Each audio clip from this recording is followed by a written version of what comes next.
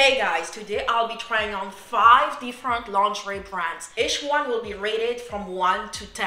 So wait until the end and you will see the winner. Don't also forget to look for my spicy site to see the best part. So let's go, outfit number 1.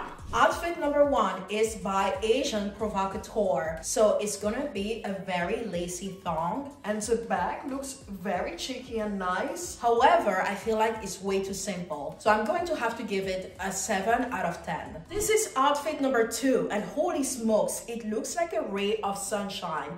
It is by Honey Birdette and the back is so freaking hot. However, while I love the design and the color, it's a bit too simple for me. So I'm gonna have to give it an 8 out of 10. Next one is gonna be outfit number three. This outfit number three by Victoria's Secret.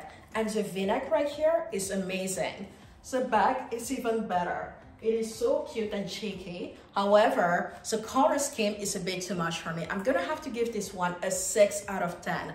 However, you know what's a 10 out of 10?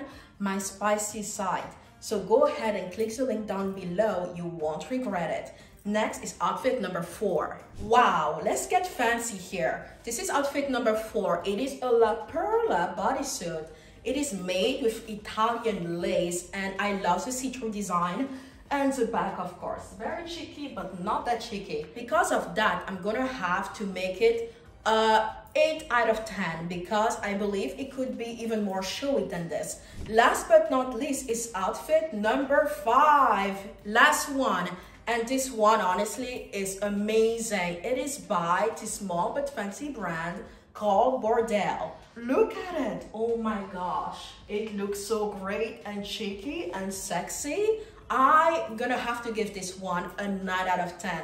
Now it's time for the winner. And you know what else is a winner? My spicy side. So the best part of this video are there. Click right now, you won't regret it. Now it's time to announce the winner. And guess what? It's outfit number five. And it was my favorite by far because of the design, the shape, the bag, and everything about it. Now, please let me know which one was your favorite outfit. Do you agree with my decision? Do you not agree with my decision? Leave it in the comment because even better, the best is to come on my spicy side. So don't forget about that one either. Thank you so much.